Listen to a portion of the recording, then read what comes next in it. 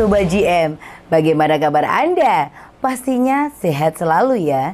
Masih bersama Anin yang akan mengupas tuntas fakta dan berita terbaru mengenai dunia militer yang ada di seluruh dunia. So, pastikan kalian tetap stay tune terus di YouTube channel Garuda Muda dan jangan lupa klik like, subscribe, serta aktifkan notification-nya biar kalian gak ketinggalan update berita terbaru dari Garuda Muda.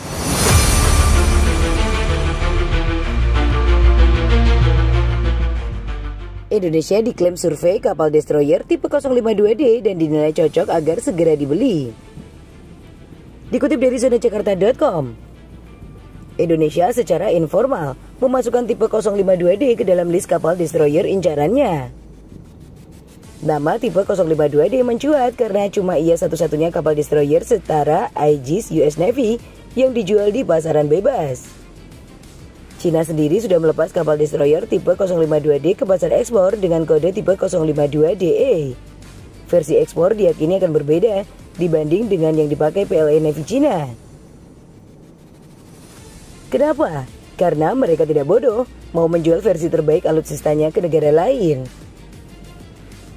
Model bisnis seperti ini menjadi ciri khas negara-negara blok timur. Berbeda dengan blok barat, Indonesia membeli Rafale F4 berarti kemampuannya sama dengan yang dioperasionalkan oleh Angkatan Udara Prancis. Indonesia membeli F-15 Eagle II, kemampuannya sama dengan yang dipakai USAF.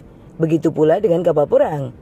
Membeli fregat merah putih kemampuannya sama dengan tipe 31 Inggris. Gara-gara inilah Indonesia kerap mengutamakan pembelian alutsista dari negara barat.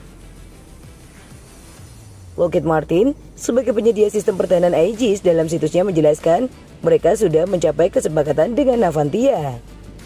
Navantia Sistemas adalah agen desain sistem manajemen tempur Angkatan Laut Spanyol untuk program fregat kelas F-110 Boniface baru Kementerian Pertahanan Spanyol. Lockheed Martin mengungkapkan jika F-110 merupakan kapal perang berkemampuan anti kapal selam dan serangan udara. Sehingga kedua hal ini akan diperkuat oleh Lockheed Martin. Meskipun sebagian besar platform Aegis menggunakan sistem tempur Aegis, desain sistem tempur F-110 memungkinkan Skomba untuk mengatur jalur kapal. Jika disuruh memilih, Indonesia pastinya menunjuk Boniface Class. Namun bila diberi kesempatan memiliki tipe 052D, pasti tidak akan menolak.